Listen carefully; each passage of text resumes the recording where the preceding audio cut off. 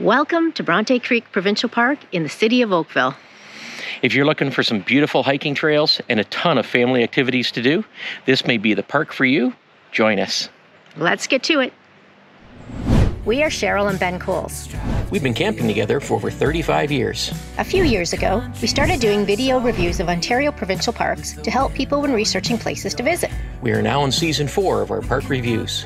We hope this helps you when deciding where to have your next camping adventure. Thanks for coming along, Camping with the Coles. Now we only get one life, I wanna make it count, honey. Come on now and take my hand. Here we are on our last camping trip of the season. We're on our way to Bronte Creek Provincial Park. It's the closest park to where we live, yet we've never been there before. Nope. It's only 72 kilometers from our home, um, and it's right in the city of Oakville. So uh, I don't think we've ever been to a park that's been in a city like that. So we're going to check it out. See you there.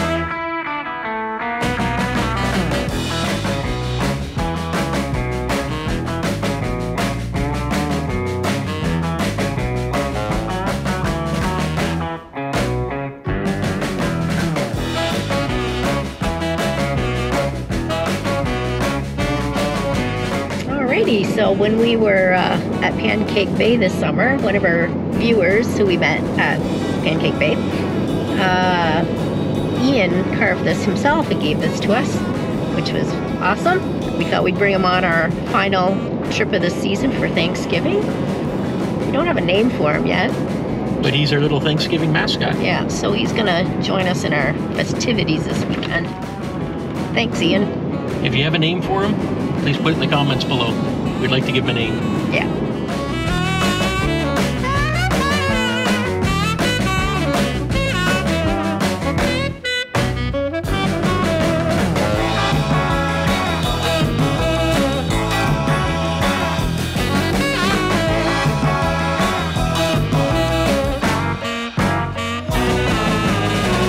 Okay, so we just came in and we're filling it. We had to do a, like a almost a 360 around the registration desk to fill up right there. And then we will drive around again and go to the right and drive all the way around. We're at 132, so I don't know if we go this way or this way, but we are right there. Bronte Creek Provincial Park is in the city of Oakville. Bronte Creek runs through the park and empties into Lake Ontario four kilometers away. This 6.4 square kilometer park provides a family camping experience that can accommodate tents to large RVs. Here we are at the dump station. Um, not a fan. It's just single file. There is the black tank dump flush and the clean fill up straight ahead. So you're just basically stuck in the one lineup. We had somebody in front of us for the longest time, and it's like a Thursday morning. The good thing is the black hose is threaded as the uh, fill hose. At the water fill station right now. Uh, I thought it was kind of an unusual setup. I've never seen a little house like this over the water. And then I'm uh, looking in and I'm like, what is with all these electrical panels here? And like, I couldn't figure it out. And I see there's one light, but I didn't know why they had all these electrical panels. And then I looked and saw that it has this all around there. So it's heating coils to go around the uh, the pipe. So all the way down there, it's heated so that the pipes don't freeze. So you can uh, do this well into the uh, cold weather. So that's pretty good.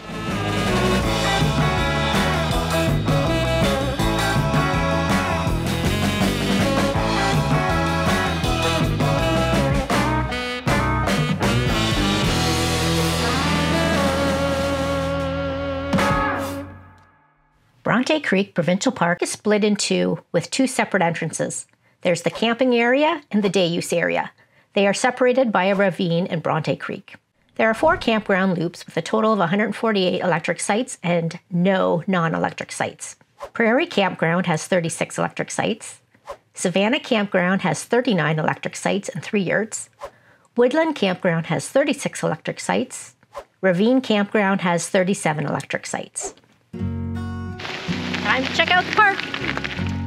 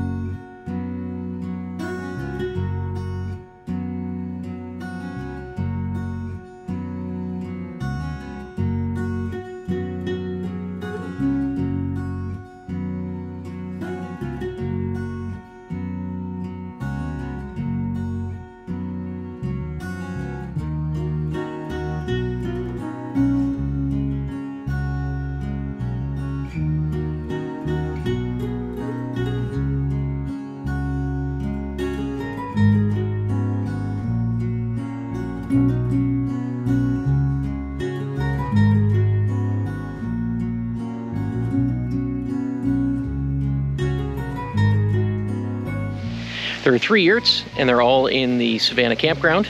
They each come with a fire pit, picnic table, barbecue plugged into natural gas, and a patio. There are nine mini comfort stations in the day use area with flush toilets. There are two comfort stations, one in uh, Prairie and Savannah Campground, the other Woodland and Ravine Campground. Each of them has flush toilets, showers, laundry facilities. They are barrier free, and the laundry facilities are 250 each for the washer and dryer. And you can get a bonus, a leg workout. At the showers, there are two children's playgrounds between Prairie and Savannah campgrounds and between Woodland and Ravine campgrounds. And there's one in the day use area. There's one cute amphitheater. It has uh, stadium, mini stadium seating and backrest at the top row. There are two leash free dog trails. In the campground, there's a 1.4 kilometer trail, and in the day use area, there's a 2 kilometer trail. At the campground leash free dog trail, there's a mini comfort station, as well as a tap and a water dish for the dogs to get a drink. There's a park store, but it closes at Labor Day, so it's not open right now. There's one outdoor pool. It's touted to be one of the biggest outdoor pools in all of Canada at 1.8 acres. There is an additional fee for it.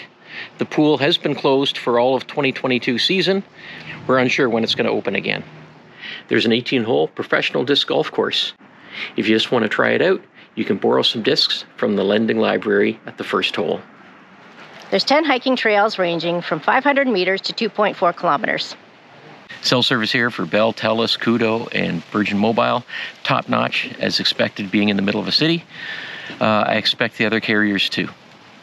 Over in the day use area, there's two visitor centers. One is called the Interpretive Center, and it's the Spruce Lane Farmhouse.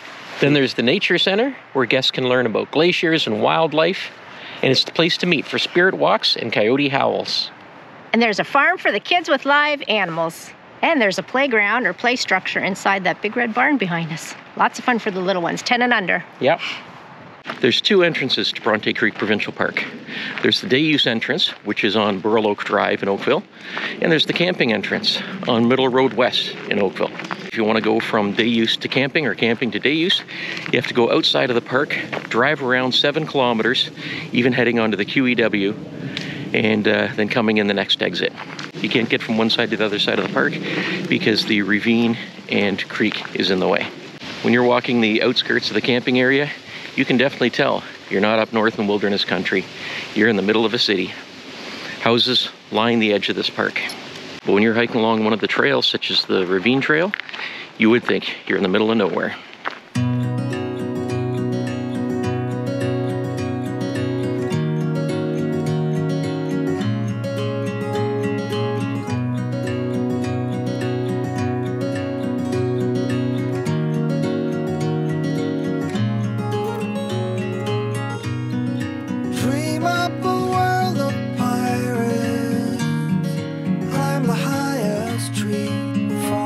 See that beaver dam down there, but uh, there's some salmon splashing, trying to get up and over the beaver dam. Go back out to sea.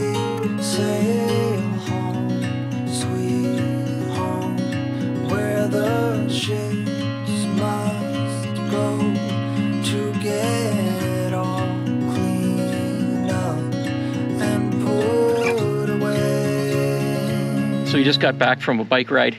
We were following some of the trails, and then we got completely lost on It was trails. well worth getting lost. that was the best getting lost ever. Yeah, it was amazing. It was so beautiful. We thought Algonquin was amazing. But where we were at Algonquin, we were in a, uh, a white pine forest. This is all deciduous trees, uh, a lot of maple. They're all in full color right now. We went along a trail, which I believe is called the Ravine Trail, but it's not on the map of the park. And uh, wow, some stunning views along that trail. We trail. were meant to stumble on that one accidentally. And On we even looked down in the water and saw the salmon splashing Yeah, as they're trying to swim upstream. That's really cool. Yeah. Well worth it. Big shock. Love it so far. Call it a day. This is my eldest. Hi. She's the, the author.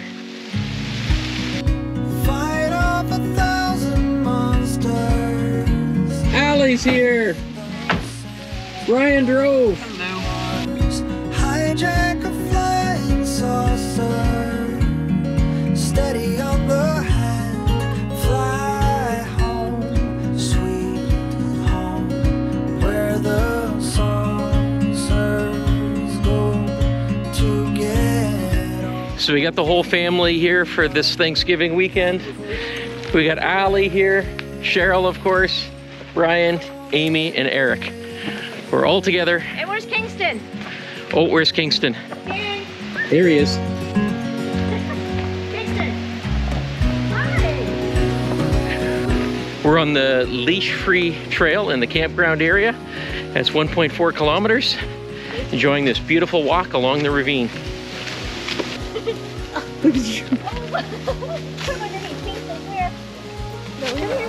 Back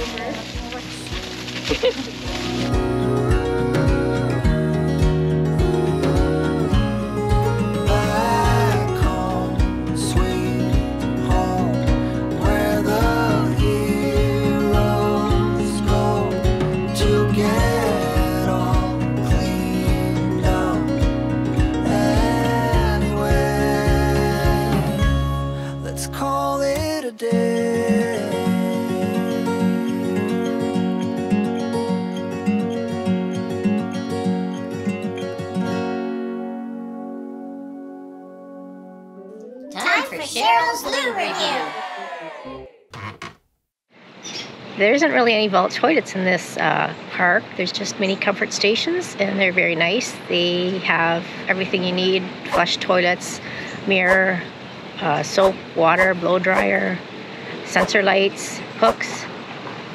Yeah, so you can't really say anything bad about them. So I'm gonna give them a flower. Hi, Beans. Hi, Beans. Do you have Dad's shoe? Steven, I came just in time. Bacon. Ooh, that looks good. Breakfast bacon. We went uh, down to the dog trail. Yes. So, Cheryl, more of our friends got a clam shelter. Yeah, it's bec- So, Dilly and Patty got one. Now, Stephen and Ingrid have one. and a few of our viewers have also purchased. Yeah, we got to get a clam Yes. shelter. Yes. These things are amazing. We brought our dining tent with us on this trip. I'll Yeah. show it to you. It took us about 15 minutes to set up, and the two of us, and it was a bit of a job. It's starting to leak a bit. This thing, 30, 45 seconds, and it's set up with one person. Yes. Oh, the sun just came out. Oh, that's a good thing. See It the likes the sun clam, shines too. down on the clam.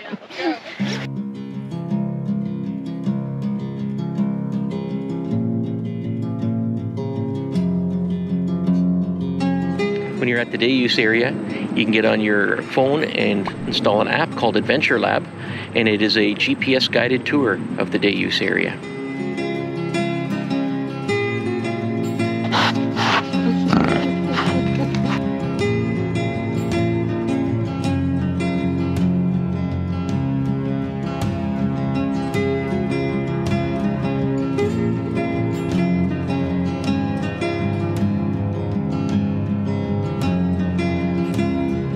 Spruce Lane Farmhouse from 1899. During the summer months, they'll have staff members in period costumes inside the house and around, and you can talk to them. They'll let you know about how life was like in the early 1900s.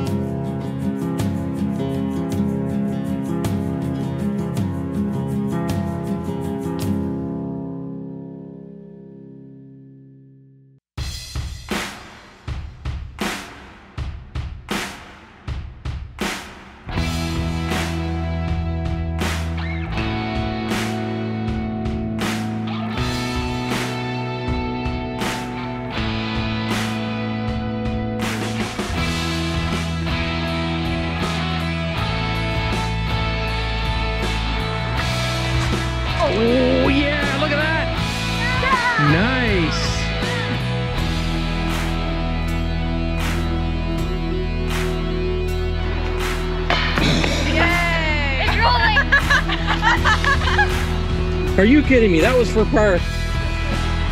and then in first place, Oh yeah. So the scores. I never said the scores. Allie 51. Celia 50. Ryan 49. Lila 47. Ben 39. Oh, oh, good job. Nice job. That was fun. We got to do a group shot with our with our discs. And that's a wrap for disc golf.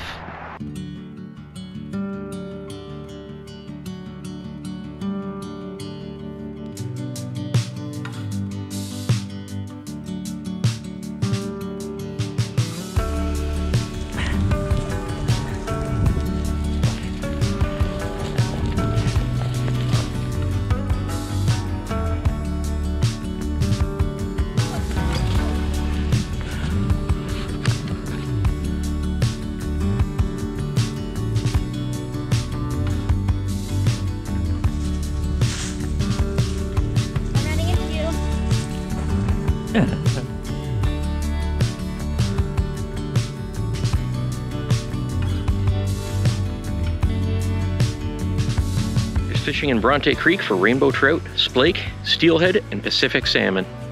At the bottom of this rope climb, we just came down. There's some uh, guys fishing down here, and these are salmon in the water. And you can see some. You probably can't see them, but they're right in the water, right there. Um, and they're heading upstream.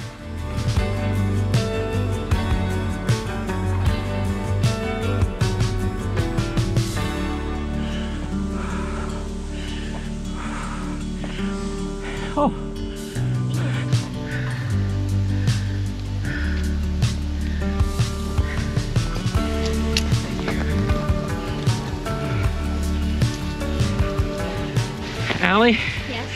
I'm glad you suggested this. That was fun, right? That was fun. That was fun, but a little bit trying.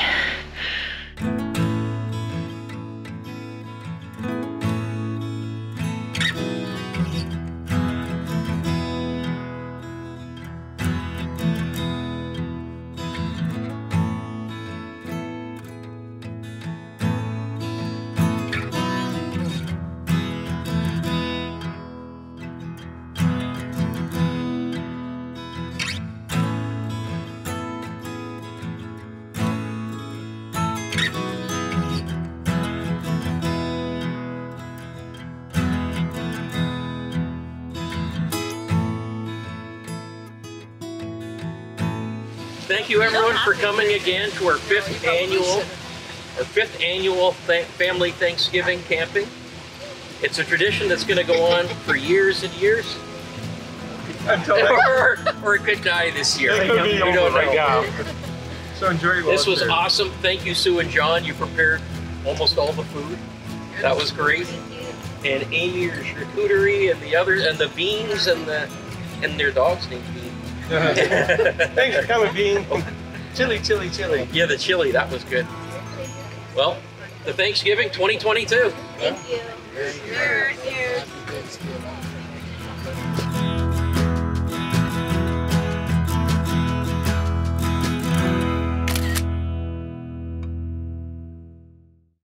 Holy cow, I almost forgot a tour of her site. We're taking everything down right now, so it doesn't look all pretty. It's nice, big, flat, open site, has a gravel driveway going in, one picnic table, fire pit, like usual, and we're kind of in an open field area. Cole's notes for Bronte Creek Provincial Park. It's our final trip of the 2022 season. Boo. Yeah, it's a very sad time. It is. It's always a sad time. But on the upside, we can start planning for next season. Yeah, Yeah, yeah. looking forward to that. Mm-hmm. We got lots planned. It's going to be an exciting season. So, Bronte Creek, It was a, a, a lovely surprise. Better than what I was expecting. Again, I think I've said that a few times this Yeah. season. It was better than I expected. we didn't have. Uh, we, we basically picked this park because it was so close to our home. It's it's Yeah, less than an hour away. Uh, it's easy for family and friends to come and, and join us. And we weren't expecting to be anything great of a park because No, let's it's face it, it's in the middle of a city. In the city, yeah. Yeah. But we got here and uh, the colors were Stunning. full, full colors. Yeah. Uh, the fall colors just incredible. It was amazing, and the trails. I wasn't expecting. I thought there was just one teeny tiny little, you know, trail. Yeah. Just 500 meter trail or something Yeah. here. The No. funniest thing is the the nicest trail in the entire park that that I found to be the nicest trail Mm-hmm. Yeah. isn't even on the map. Yeah. It's the East weird. Ravine Trail. We went out biking the first day and we got lost. there wasn't there wasn't the signage that Cheryl needs to uh, find Yep. her way around as she's gets lost so easily. Same with Ben on that one. I could I couldn't find. we were lost. I was the one leading us, and uh, we were very pleasantly surprised. But we ended uh, up in a good spot. So Yeah, because out. that was a good getting lost. We went along that East Ravine Trail. Um, from the top of the trail, we looked down into the water. We could see the salmon splashing by a beaver dam as they're Yep. trying to, as they're trying to get over the dam. Mm-hmm. Just incredible. Um, yeah, I think a big part of why we enjoyed this so much is because we kind of had low expectations, Yeah. and then we got here and the explosion of color because we're in full autumn colors. That was really nice. and because I love fall so much and the fall colors, this Yeah. was a good fall campground to come to.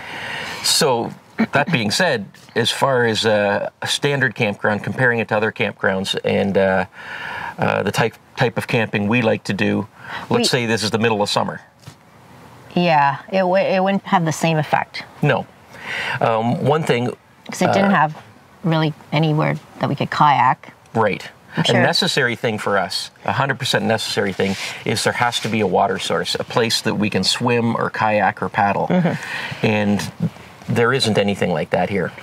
So my concern is, is if you're in a tent or something, like we have air conditioning in the trailer, but if you're uh, camping here in a tent, um, and then uh, you get super hot, you know, it's over 30 degrees, there's no place to cool off. You can't go in the water. Now, granted, you can go one kilometer out of here and go to Tim Hortons or McDonald's or something like Yeah, it's that. close to town for An any air needs you conditioned place. Yeah. The day use area is huge. There's a lot to do there. Mind you, the store and visitor center were closed for the season, um, but we still got to see the farm animals. Yeah. Like that. Um, you did the frisbee with the kids, The disc golf. disc yeah. golf. The uh, swimming pool. Uh, it's been closed for a few seasons now. It's like Earl Rowe. They Yeah. have something going on. I don't know. So, uh, from looking at it, it looks like it's in pretty rough shape. I don't know if they're going to be fixing it up for the 2023 season or if they're just packing it in. Yeah. But uh, yeah, there's, and, and if it is open, it is an extra cost to, to go there. So there's your water. Mm-hmm. But I'm sure there's other things in the city you could go to. It's not far. Yeah. but this is a cool little park because it Mm-hmm. has so many activities for the family. Like you mentioned, the uh, the animals that were there. Yeah. Um, and they have a, the kids' fun barn. Yeah. Yeah, lots of stuff to do Yeah. there. And then you've got the disc golf. They also have a model airplane flying club, but you have to be a member of that club. But that's within the park, and if they're flying, that's probably uh, pretty cool to go see them flying their model airplanes up there. Um, yeah, lots of activities all the Yeah. time, and in the summertime where you get people in period costumes at the uh, at that farmhouse, and uh, you can go and talk to them, find out uh, about what life was like in the early 1900s. All that stuff is pretty cool. We like learning about that sort of stuff. A lot of discovery stuff. So we really like the park. Except the fact that you have to leave the park to go to the day use. You have to hop on the what you call it, the The QEW. It would be it would be so cool if there was like a big bridge that could join the two together. A pedestrian bridge. That would be Oh, awesome. uh, yeah, for cycling or Yeah, just a hiking over. pedestrian bridge so you can get from the uh, day use area to the camping area. Plus, a pedestrian bridge over that ravine would be beautiful, especially this time of year. Yeah. I'm sure it's quite costly, but uh, Ontario Parks, everything. if you're listening, that's our big suggestion for this park so that we don't have to drive out and onto the QEW. Just a minor change. Yeah, to, to get over to the other side. It would be great to have that. Yeah, yeah. So the park was clean. I like the sites. It's a different kind of campground than what we're used to. It's a lower brush area. But there are some that are in the woods, Yeah, in Woodland, they had some really nice sites there. and every site seems to be flat. Mm-hmm. And every single site here is uh, Grass, electric. and they're grass. Most of them are. Yeah, Reminds me of Selkirk, where they had to. a little bit. Yeah, Yeah. but yeah, well kept, clean. And there's no vault toilets. No, what you would normally have is vault toilets because they have the uh, comfort stations. They're basically mini comfort stations. Like Inverhuron, kind of. yeah, Well, yeah, you know the hard buildings with the yeah. sink soap. They're tiled. Yeah. so no complaints there. Great. So in terms of a rating, though, For overall, it has a ton of activities, but contain it to just the se- this season or this fall. Mm-hmm. But for the summer too, um, what do you want to do? so like in the summertime, the the would be- views wouldn't be nearly as spectacular. We they're spectacular views But then of on the the color. other hand, there's more activity happening during the summer too. So you kind of balance it out. yeah, this is this is no Lake Superior or anything. You're you're in the middle of a city. But as for being in the neighborhood, it's it's a nice park. Yeah, absolutely. If I lived near here, I would definitely have a season pass so I could come in every day. The two leash-free dog trails. Oh yeah, there's a lot of dog walkers. Oh yeah, so it's great stuff like that. Mm-hmm. But in terms of comparing it to all the other parks that we go to and stuff, Yes, to give it a rating, yes, like uh, seven, yeah, seven and a half, seven, I think a seven. seven. I think it- it fits well with a seven. The big thing is the the lack of water, mm-hmm. the lack of uh, you know, being able to paddle, swim, stuff like that. But that's it. It's a seven. There it is. There it is. The last review of the season. This is a sad moment, Yeah.